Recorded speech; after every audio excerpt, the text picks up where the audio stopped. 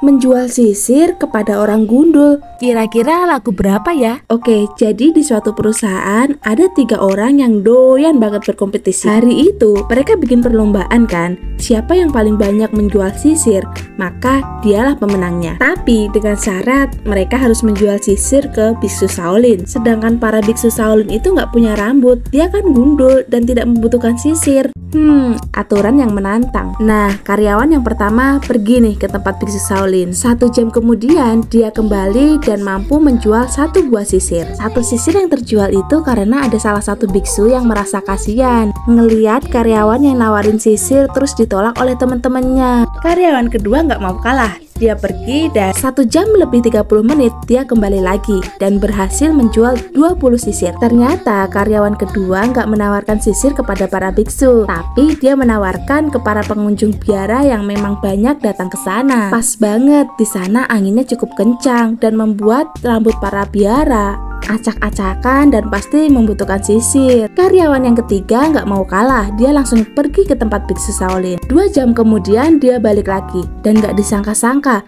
dia berhasil menjual 500 sisir. Gimana caranya kok bisa? Karyawan yang ketiga ternyata pinter banget. Dia pergi ke tempat kepala biara. Dia juga mampu meyakinkan bahwa sisir dagangannya sangat bagus untuk dijadikan souvenir. Lalu si karyawan ketiga ini bilang, kalau sisir adalah benda yang selalu digunakan oleh setiap orang setiap hari dan pasti akan selalu ingat dengan biara Solin saat mereka menggunakan souvenir ini. Ide yang sangat brilian. Kalau kalian jadi karyawan, kira-kira mampu menjual berapa sisir nih?